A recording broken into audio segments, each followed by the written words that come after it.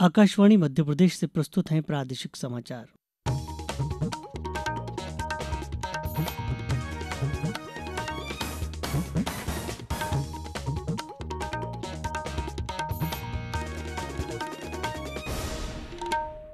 नमस्कार, समाचारों के साथ मैं रतनेश सोनी। उप मुख्यमंत्री राजेंद्र शुक्ल ने आज भोपाल के जयप्रकाश चिकित्सालय परिसर में पोलियो ड्रॉप पिलाकर प्रदेश में राष्ट्रीय पल्स पोलियो अभियान का शुभारंभ किया। उन्होंने प्रदेश के समस्त नागरिकों, अभिभावकों से अपील की है कि अपने नौनिहालों की सुरक्षा में कोई चूक न होने दें।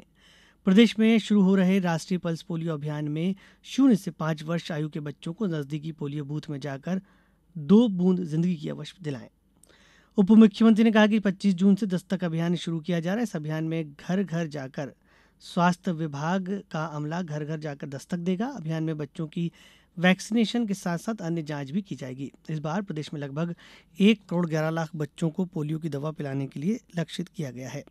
अभियान के दूसरे एवं तीसरे दिन सत्ताईस हज़ार दो सौ इकहत्तर टीमों द्वारा एक करोड़ अट्ठाईस लाख घरों का भ्रमण कर बच्चों को पोलियो की खुराक दी जाएगी। सतना ज़िले में बच्चों को पोलियो निरोधी दवा पिलाई जा रही है। सतना जिला अस्पताल सतना में राज्य मंत्री श्रीमती प्रतिमा बागरी ने दो बूंद दवा पिलाकर अभियान का शुभारंभ किया। खंडवा में सांसद ज्ञानेश्वर पाटिल व पंधाना विधायक श्रीमती छाया मोरे ने सामुदायिक स्वास्थ्य केंद्र पंधाना तथा उप स्वास्थ्य केंद्र निहालवाड़ी में अभियान की शुरुआत की। छतरपुर शहर के छत्रसाल चौराहे के बूथ पर वन एवं पर्यावरण राज्य मंत्री दिलीप अहिरवार ने बच्चों को पोलियो की दो बूंद दवा पिलाई। गुना में जिला चिकित्सालय में विधायक पन्ना लाल शाक्य ने अभियान का आरंभ किया। शिवपुरी ज़िले में आज से पल्स पोलियो अभियान की शुरुआत हुई। विधायक देवेंद्र जैन नगर पालिका अध्यक्ष गायत्री शर्मा ने हवाई पट्टी स्थित संजीवनी क्लिनिक पर पहुंचकर इस अभियान के तहत बच्चों को पोलियो से बचाव की दवा पिलाई। नर्मदापुरम ज़िले में एक लाख इक्यावन हज़ार तीन सौ नौ बच्चों को पोलियो की दवा पिलाने का लक्ष्य रखा गया है। मध्यप्रदेश लोक सेवा आयोग की राज्य सेवा एवं राज्य वन सेवा की प्रारंभिक परीक्षा 2024 का आज आयोजन किया जा रहा है। परीक्षा का पहला सत्र 10 से 12 बजे तक हुआ और दोपहर दो बजकर पंद्रह मिनट से चार बजकर पंद्रह मिनट तक दूसरा सत्र होगा।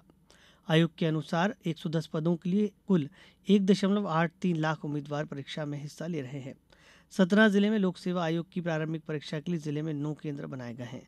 आयोग द्वारा निगरानी के लिए सेवानिवृत्त आईएएस कृष्ण मोहन गौतम को रीवा संभाग का संभागीय पर्यवेक्षक नियुक्त किया गया है। जिला गुना में परीक्षा का संभागीय पर्यवेक्षक सेवानिवृत्त आईएएस आईएस शेखर वर्मा ने निरीक्षण किया। ज़िले की छह परीक्षा केंद्रों पर परीक्षा हो रही है। नर्मदापुरम ज़िले में सात परीक्षा केंद्र बनाए गए हैं। परीक्षा के संचालन के लिए सभी परीक्षा केंद्रों में अधिकारियों की नियुक्ति की गई है।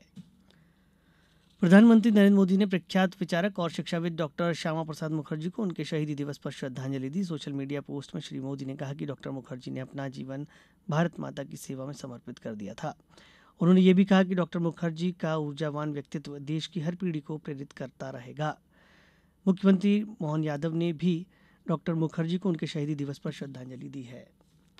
अठारहवीं लोकसभा का पहला सत्र कल से शुरू हो रहा है। सत्र के दौरान नवनिर्वाचित सांसदों को शपथ दिलाई जाएगी। वरिष्ठ भाजपा सांसद भृतहरि मेहताब लोकसभा के नए सांसद को शपथ दिलाएँगे। श्री मेहताब को अस्थायी अध्यक्ष बनाया गया है। नए लोकसभा अध्यक्ष का चुनाव इस महीने की 26 तारीख को होगा। अगले दिन 27 जून को लोकसभा और राज्यसभा के संयुक्त सत्र में राष्ट्रपति द्रौपदी मुर्मू का अभिभाषण होगा। संसद सत्र अगले महीने की तीन तारीख तक चलेगा। आईसीसी 2020 विश्व कप क्रिकेट में आज सुबह जमाइका के किंग्स टाउन में सुपर आठ मुकाबले में अफ़गानिस्तान ने एक रोमांचक मैच में ऑस्ट्रेलिया को इक्कीस रनों से हरा दिया। एक सौ उनचास रनों के लक्ष्य के जवाब में ऑस्ट्रेलिया 19 ओवर और दो गेंद में एक सौ सत्ताईस रन ही बना सकी। अफ़गानिस्तान के ऑलराउंडर गुलबदीन नायब ने चार विकेट लिए और उन्हें प्लेयर ऑफ़ द मैच चुना गया। अब कुछ समाचार संक्षेप में। आगरमालवा कलेक्टर ने विद्यालय से अनुपस्थित रहने पर ग्राम दाबड़िया के एक शिक्षक को निलंबित कर दिया। वहीं चार शिक्षकों को दो दो दिवस का वेतन काटने के आदेश दिए। सतना ज़िले में किसानों द्वारा खरीफ सीज़न के लिए बोनी की तैयारियाँ शुरू कर दी। कृषि विभाग द्वारा किसानों से अपील की गई है कि डीएपी के स्थान पर एनपीके खाद बेहतर विकल्प है। इसी के साथ ही समाचार बुलेटिन समाप्त हुआ। नमस्कार।